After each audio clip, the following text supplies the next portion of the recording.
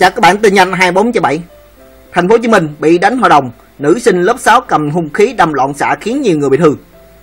Ngày 25 tháng 4 Công an quận Thủ Đức, thành phố Hồ Chí Minh cho biết Đã phối hợp với công an phường Hiệp Bình Chánh Cùng với ban chỉ đạo giáo viên trường trung học cơ sở Ngô Chí Quốc Để điều tra làm rõ vụ tấn công bằng hung khí Làm hai học sinh bị thương rất nặng.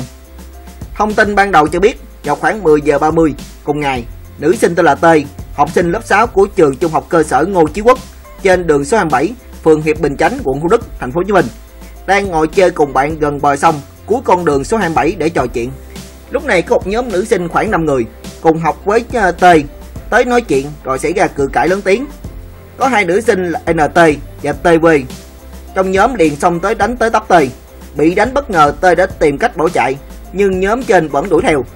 Khi nhóm nữ sinh chưa đuổi, T đã rút hung khí đâm loạn xạ khiến nhiều người bị thương trong đó có những nữ sinh gồm có NT và TV bị thương chảy máu rất nhiều.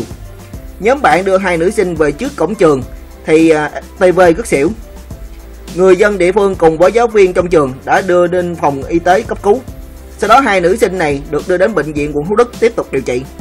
Nhận được tin báo, công an địa phương đã có mặt phối hợp với nhà trường để tiến hành điều tra làm rõ sự việc. Thông tin từ phía bệnh viện đa khoa quận Thủ Đức cho biết, nữ sinh à, NT đã bị thương tích rất nặng ở đùi và tay phải, còn nữ sinh TB bị thương nhẹ hơn. Hiện các bác sĩ đang theo dõi chăm sóc hai bệnh nhân trên. Cảm ơn các bạn theo dõi clip này. Hẹn gặp lại kế tiếp nhớ like hoặc share nhé subscribe.